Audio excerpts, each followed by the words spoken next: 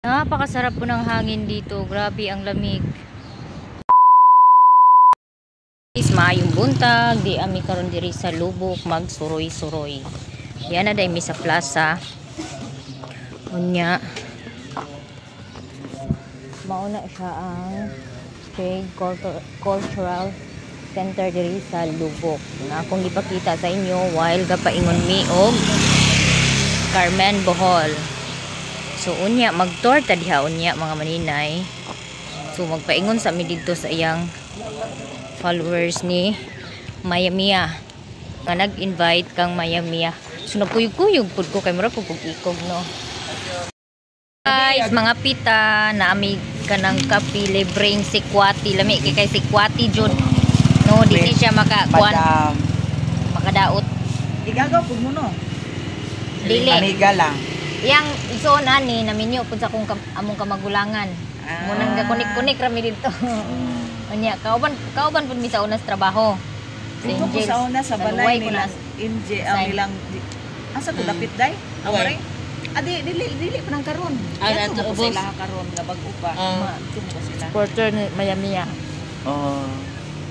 Asa dapit din nga balay din? Ato na tirada balo yun na rin. Ah, katon dito Oh, sa dito kuan. pa, oh, Dito Kuan o sikwati. Mm, lami kay sa nga tanan no kay sikwati jud. Kutira. Mm, pita. day. Nakabibog ko. Ah, nag-apit ka. Ato na lang si Rosia sa Luway Parlor kay doon man siya dito kay to pa si Jinjin. Gilabay ko nila dito sa ay sa Carmen ko dagto nya gi-transfer din ko. Kuan alage. Napagawa ni mo to.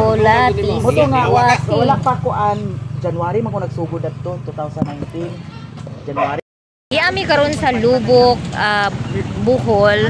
Gimit na mo ang ah, followers ni Mayami nga si Madam Bilgin Apat, Onja. Nagimo po siya og channel nga Bilgin Channel. So pagsugod na po siya og vlog tungod ni Mayami charon. Bitaw oy niya magwag-wag sa aming Mayami karon kay si Mayami ang iyang destination karon is Kalapi. So ako luway ko kay magkuha na po ko og baptismal. So last day Friday na kinahanglan makuha na gina kong baptismal gina akong tuyo diri sa ah, Bohol nga naganhi ko diri. Sige salamat Kar- ay madam. Diyan mo sa ipasakay si Mayami ah, paingon og Kalapi. Kay kami mag-video pa pud ko. Pa pud ko dari sa plaza sa Lubok, simbahan, ug dito sa floating area. Kay wala pa mo ko'y video diha nga area. So ako mong ipakita sa patanaw sa view diri sa Lubok, Bohol.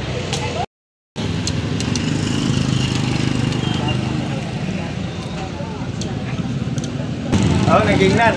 Ba- Bakit?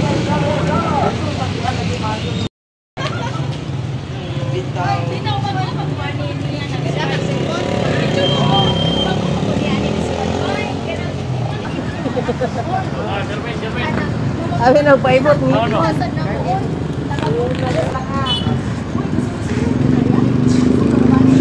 Come on, come on. Rami luway. Medyo traffic ang dalan.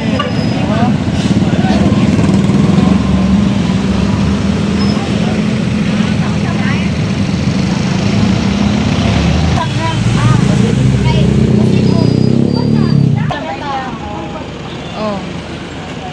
Amping! So, mo na nakasakay na si Mayamia og van. Paingon na siya og kalapi. Karon paingon ko aring plaza mag-video ko aring plaza guys. Amo ako mong i kanang pakita sa ilang plaza kung unsa kanindot ang ilang plaza diri sa Lobok. So, ni siya ang ilang plaza. Nindot kay sa tanan ang ilang mga kanang tanom ari kay ginatrain gid nila. Hmm? Unja, pwede siya lingkuran ani, matambayan siya. So kung ini, ingon ani adlawan pa, init gid siya diri. So maayo diri mag-standby og paingon na mo ngit-ngit. Paingon na mo sa pangadlaw kay nindot gid kay nga tanan siya. Naay mga bikiri diri kung gusto mo mag-snack. Unja na ilang ilang mga tanom ari pine tree murag bilong man siguro ni sa kuan o gi- ginatrim gihapon nila ang ilahang mga kahoy ug na sila kuan diri monumento. Unja napod sila diha. Diri pod ang ilang ah, lingkuranan po ni siya dani guys. Mo ni siya. Oh. fountain. I think fountain ni siya. Oh fountain ni siya. So murag wala nila pa under ang ilang fountain. So na diri circle ang shape ani niya. Andyan na po dito at bang buday niya Diyan ilang ko andari sa monumento. Garound po ni siya. Oh garound naapoy chair diri sa sulod. Diri na apoy gihapoy ah, lingkuranan diri pero pila ra ka buok? Na duha ka buok pero murag ay isa ra. Murag isa ra siya. Murag temporary ra siguro ni gibutang no? Unja. Mo ni siya dili ka siya dako ang ilang plaza pero nindot gi kay tan-awon ang green no dira sa atbang mo na ilang municipality of Lubok ilang ah ilang munisipyo. Unja J- Jad Cultural Center dahin pod sa Tapad na diha. Nya dito dayon sa atbang mo na sila ang ilang simbahan dira. Sumusulod ta sa ilang simbahan karon mga maninay no? Unja dadto mo to ilang kanang kampana bitaw sa nga nana kampanaryo. Nya makita nimo diha na sila mga old house sagad gid diri sa Bohol mga old houses na gid ang mga modelo sa ilang mga balay diri no? Pero pag sa bukid ka paingon puro pod mga new kanang new design ang ilang mga balay. Nakita na ninyo mga maninay kung unsa kalimpyo ang ilang plaza diri no? Nindot gi kay sa nga tanan naay nang hinlo diri guys so nagtupad siguro ni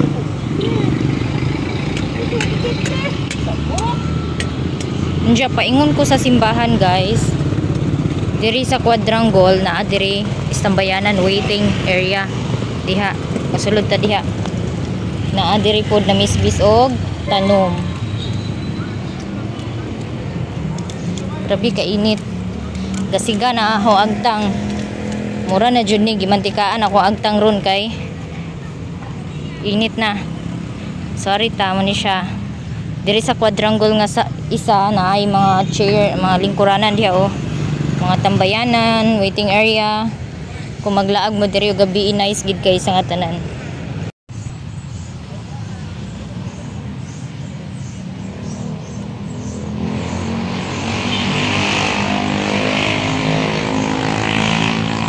Mo na sila ang ilang kampanaryo separates siya naa siya sa pikas kanto so arita pa ingon sa simbahan. Diya another pud ni siya nga quadrangle diri. Sumurag na ay gi-construct aning da, ah, ari nga side na ay palmera pud ani Diya murag na wala pa ni nila na limpyo ang ilang kuan diri oh. Ilang kuan dari pa ingon sa simbahan. So mo ni siya ang simbahan sa Lubok guys. Unya hala sirado man. Asa man taari mo sud di day ni siya pasudlan. Ay ari. Mangita tag masudlan na to ari. Diya ara sa atbang guys mo nang bridge sa lubok nga wala matiwas. Dani ra siya kutubo. So wala ko kabalo kung unsay purpose nga nung gitaoran siya og bridge nga. Yun ana ra siya. Ana ra siya kutob. Ko kabalo kung asa dapit ang sulod sa merkado ris lubok so ang ako i-view is kanira diri plaza simbahan ug kaning diri dapit sa floating area sa bridge. Inja arita mo sulod ari makasud baka tari ha makatari dapit mo ah, kuan agi. Mo ni siyang entrance sa ilang simbahan so sa kilid ko ni agi. Kay kilid ang open ang atubangan gid nga kuan kanang gate dili siya open. Di ko sure kung open siya open ba siya? Na sila'y basurahan diri sa ilahang entrance. Saan ni siya? Pwede ba tapos ulit ari? Ah okay. Pwede tang sulod. Sumuon ilang simbahan guys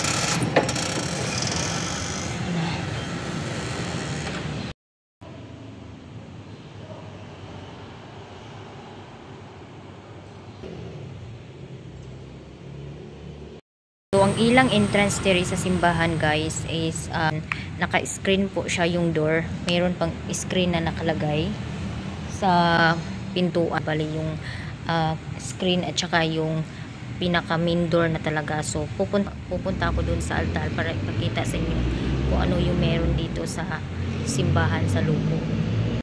Bubong ng simbahan yan po yung makikita ninyo. Mga image po yan ng mga apostolis, uh, mga santos, muna siya ang ilang atop diri ilang bubong. O, ganyan po yung bubong dito sa simbahan, lalo na pag nandito ka sa Bohol. Halos ah, ganito po yung bubong ng simbahan nila. Mga image po ng mga santos.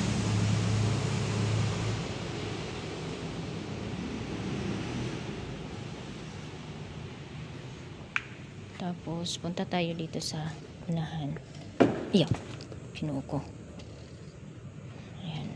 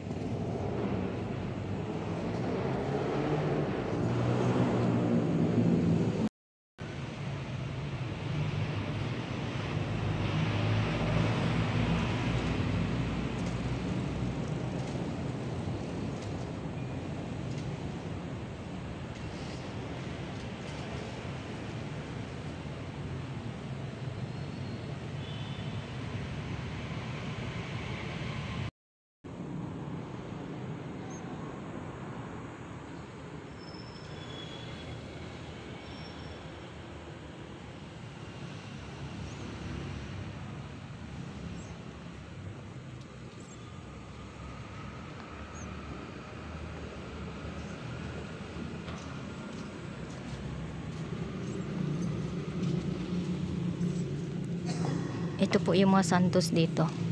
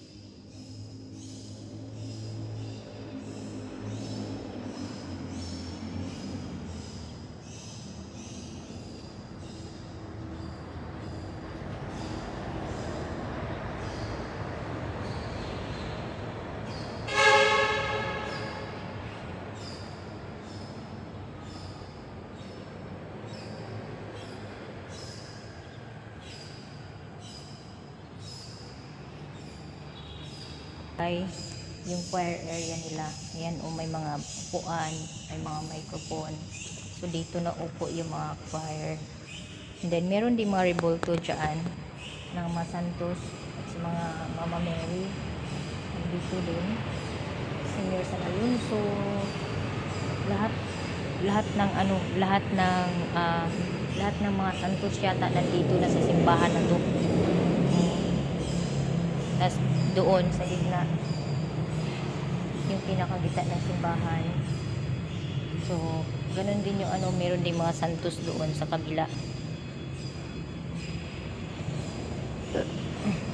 So, palabas na ako guys. Baka hinahanap na ako ni Jinjin. Pupunta tayo ng whatever, floating restaurant dito sa Lubo.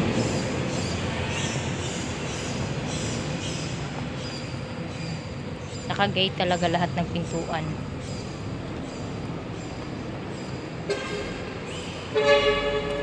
Tapos, maano ngayon, tahimik ngayon dito, walang mga, meron na ako nakita kanina, isang tao at may pumasok din ngayon. Baka staff yan dito sa simbahan.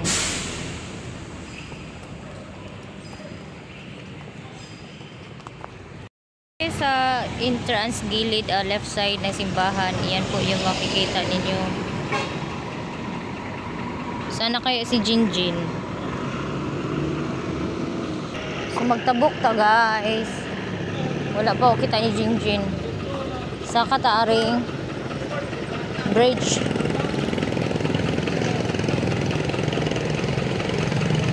Sa Aritaring Bridge, Musaka.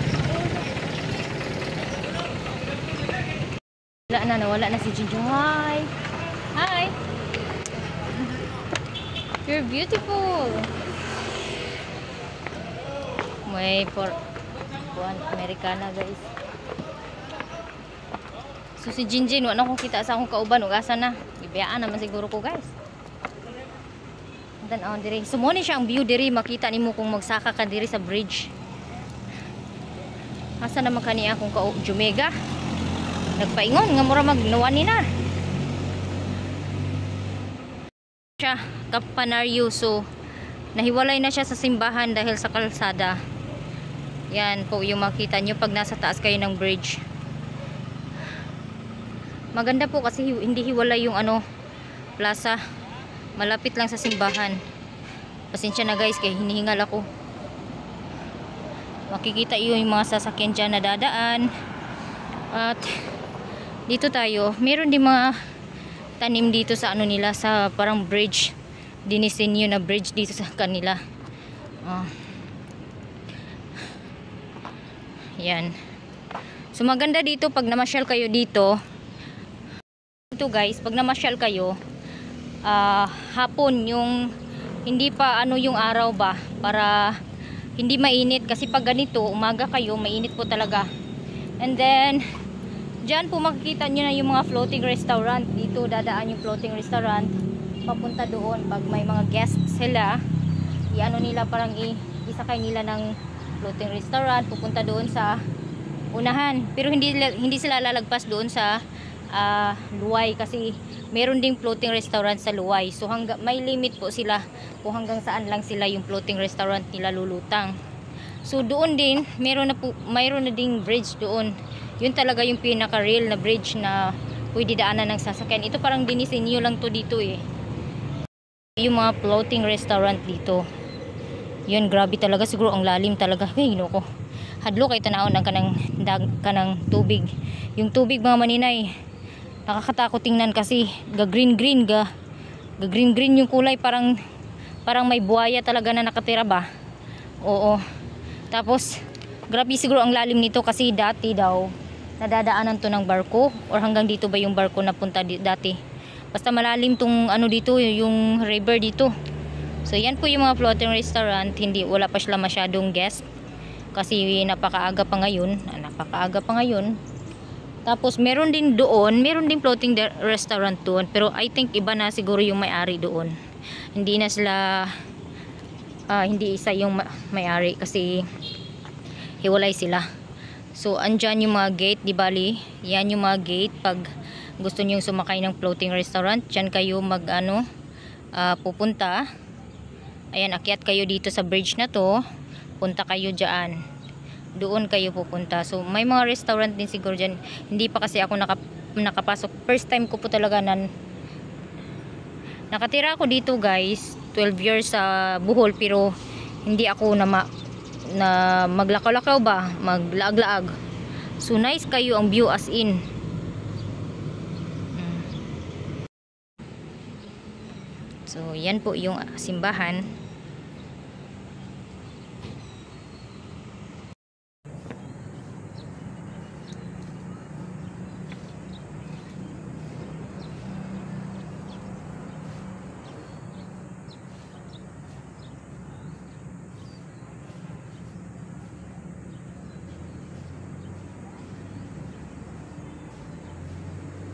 Ako guys, tapos na ako mag-shooting sa taas. Ito po yung handa, hagdanan ng bridge. Yan.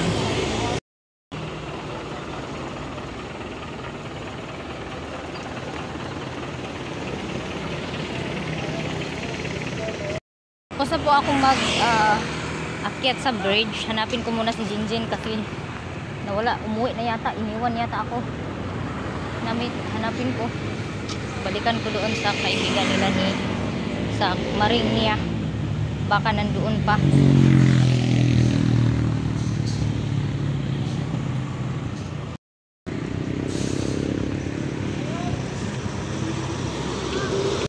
So sa akong nakita diri sa lubok, ang ilang mga workers, mga abtik ay sa nga tanan. Muna adiri nagkuan sila, nagguna sila diri sa kilid sa ilang park, sa ilang plaza. Oh. Mga abtik ang ilang mga workers.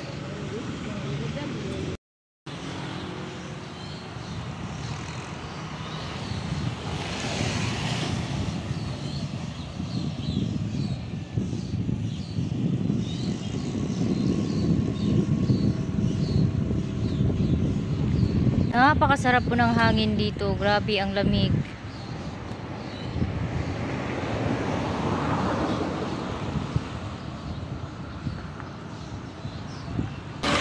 Fresco talaga yung hangin dito banda. Pwede kayong magtambay siguro dito. Pero doon kayo dumaan sa ilalim ng bridge. Kasi meron silang nilagay na ano dito. ah piece, lubid para hindi mapasukan. No? Pero may sinira dito. Oh. Siguro sinira to sinadya tong sirain para makapasok. Ako ng jeep, mayroon ng jeep oh. Sakay na si Maninay nitong jeep. Nagantay ako ng jeep para umuwi na iniwan ako ni Jinjin, guys. Nauna sabi ko mag mag ano mag-video ako sa plaza simbahan at saka dito sa floating restaurant. Kaso iniwan ako, hindi kasi siya nakadala ng cellphone. So hindi niya ako ma-message message. Kaya yun, nung hindi niya ako makita, nasa loob ako ng simbahan, hindi niya ako nakita, iniwan na ako bigla. O, inaasa ako. So, nagantay ako di, doon. So, bumalik na naman ako doon sa pinuntahan namin kanina yung may supporters ni Maya 15?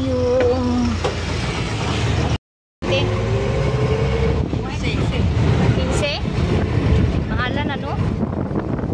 11 yung pamasahe guys, papuntang Luway, Lubok to.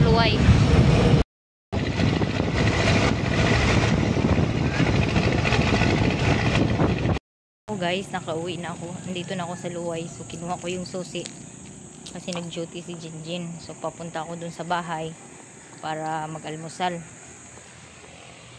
So yan na guys.